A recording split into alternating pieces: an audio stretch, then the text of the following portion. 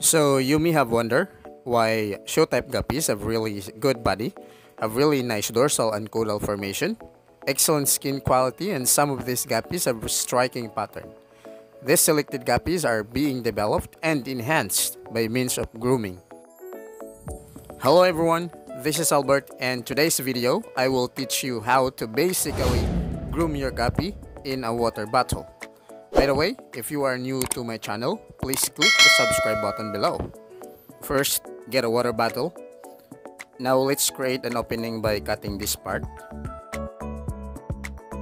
After cutting, wash the bottle with tap water.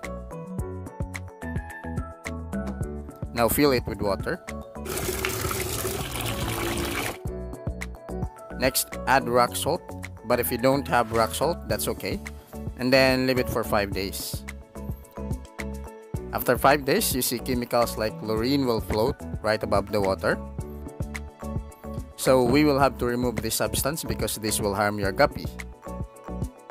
This is very common when you're living in a city because tap waters are chlorinated and you should be very careful all the time.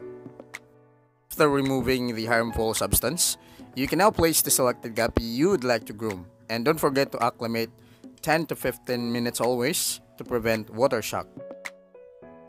Make sure to provide high protein dry feeds and brine shrimps. And do 30% water change every after 3 days to maintain water quality. Now you may ask why no filter or air pump?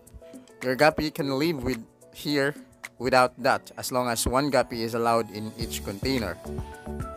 So again, this is just a basic way of grooming guppy. And right now I will show you some of the male guppies in this container that I groom already.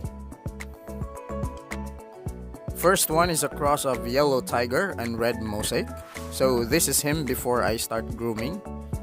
And then this is him after 3 weeks of grooming. So that's him before and after. Second guppy, tuxedo rose-tail guppy at 2 months old before groom. And this is him after 1 month and 2 weeks of grooming. Good body, wide caudal tail, and big dorsal fin. So that's him before and after. And by the way, these guppies are not for show quality. Rather, I'm just having fun grooming these guppies. You can try this grooming method and let me know your progress in the comment section. Thank you for watching.